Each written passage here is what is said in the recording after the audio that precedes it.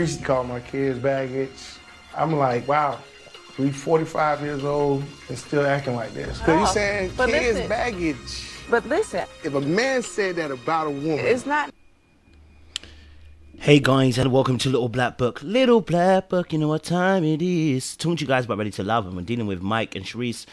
And Shareese called Mike's kids baggage, baby. She's out of pocket with that one. Um, but uh, we're gonna break it down and talk a little bit about uh, Shareese and Mike. I talk, I did a part one where I spoke about Mike's uh, sensitivity and how he has to be very careful in what he says back when he's frustrated. I'm also talking now about Shareese and the fact that in this particular situation, um, you know, why did she describe the kids as baggage? Why was that the terminology she used? Um, and as, does this fit the profile of Shareese once more again? Because we keep talking about Shareese um, uh, and her particular behavior, and I'm wondering, uh, are we, are we? This is another aspect of Shareese where you know that mean streak comes in, even the way she describes certain things. Let's talk a little bit about it. You know what I mean? And let me know your thoughts well down below as well. Well, like, share, subscribe, click on that bell button for notification of the uploads. And for those of you who are returnees, you already know what it is, baby. You got the middle rows. You got a middle rows. Uh, stay hydrated because the streets out there, they are hot. Let's get into the video. Let's get deeper. Let's get in. You would get roasted and toasted. All I'm saying is I don't have any kids. Now, of course, she went on to explain that what she meant was that she didn't have no kids. Um, I don't know because they, edited a piece of this, so I'm going to say this, but they might have edited it, and I don't mind rescinding it and taking it back later on. What we saw in uh, the conversation is that she called him his bag, his kids basically baggage, and the, and the divorce baggage, which I can understand. What I know what she meant, right? She meant obviously no. What I meant was I don't want to be in a situation with somebody who's already divorced and someone's already got kids. I want to be able to do this fresh and brand new, which is fair, right?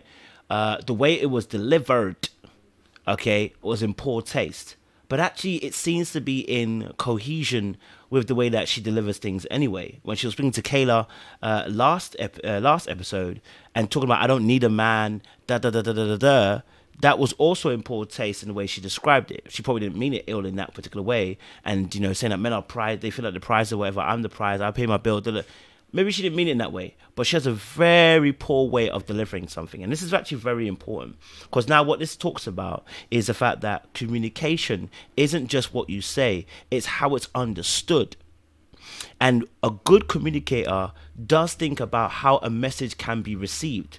So sometimes you'll hear me say something. In fact, I've seen even audience members do it to me saying, Oh, I've heard Koja say the same thing, but when someone else said it, I couldn't really receive it. And that's not to boast myself. It's more to say that I actually do think about how it will be received. Like emotionally, I think about how will somebody receive this particular message in this particular way. So there will be ways that I will use certain words to describe certain things so that it can bypass and be received by the certain group. I know that what I'm saying to, to something might be very hard. And so if it's very hard, I might need to deliver it in a different way than I usually do. And you have to think about that. So she's not thinking. That for me screams somebody who's not as empathetic as they need to be. They're not thinking about how the message can be received. This is not the first time she said something like this. This is this is a, this is not the first time she's been insensitive. Bear in mind also as well, Mike was also there when she was insensitive towards Dominica. She has a history of being insensitive when she was talking about Dominica not once but twice, one behind her back, laughing at her, and the second time telling her to basically close it, basically that she's too loud in front of Mike she doesn't understand timing and season. There's a way to deliver certain informations, right? So that it's received well. And when someone doesn't think about that, it's because they don't care about that. What they believe is the truth is supreme. Truth without love, you hear me say all the time, is cruelty. Right? Truth without love is cruelty.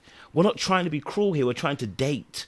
And if you have a habit of being a bang bang, and I said this last year when I said this with Joy's situation when she was dealing with Demetrius, that telling the truth isn't the issue. It's the time, it's the season, it's the uh, reason why and the motive behind you telling the truth. If it's a bang bang moment, it's not really about the truth. It's about how you feel and getting and letting off a slug or two of how you feel into that person and letting them feel what you feel.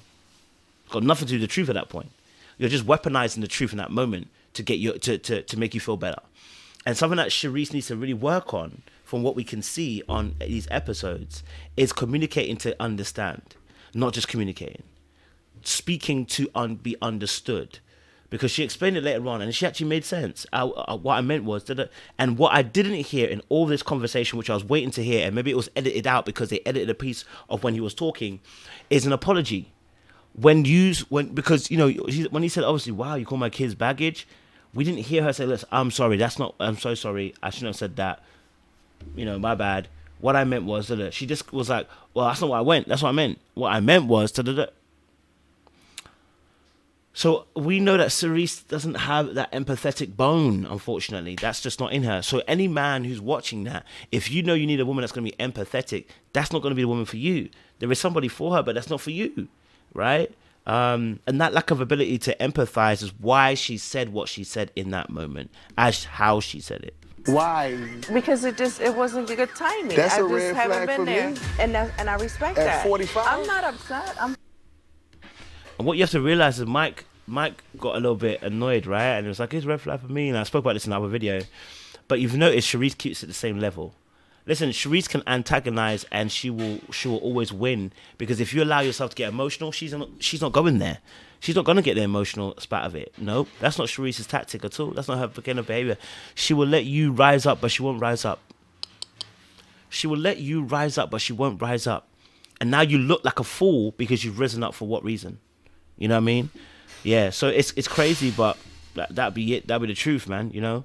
Um. So hopefully, Shareese can learn from this and say, actually, I need to look at why I say what I say, and why I say it the way that I do, and do I also offer an apology when I do say these things? Do I try to make it up to the person? Do I let the person know that I'm sorry for what I've said? Because I didn't see a sorry here right? I didn't see a sorry here. Let me know what your thoughts were. What did you guys think of the kids as a baggage comment? You know, like kids are not baggage. You know what I mean? Right, they are, and especially when the fact that he came from a divorce and then he had and, and also had the kids, and it's all in one marriage. Like, why is that baggage? But maybe she's also, and maybe the two truths can be true. Um, two things can be true. Maybe she's also seen something in Mike in the way that he behaves, whether he's fully ready for a relationship. Maybe he's still hurting from those past that past marriage. Maybe he's still feeling the effects of that last marriage. Who knows? Maybe she saw something also. I want to be fair to her, but in all honesty, calling someone's kids baggage and then thinking that you're gonna uh, not apologize just shows me the kind of person that she really is when it comes to dealing with people. Um, you know, she she plays a strong, stern role. But you know what? Most people, and I someone, someone said it on our live. Most people that do that kind of thing, they're soft inside.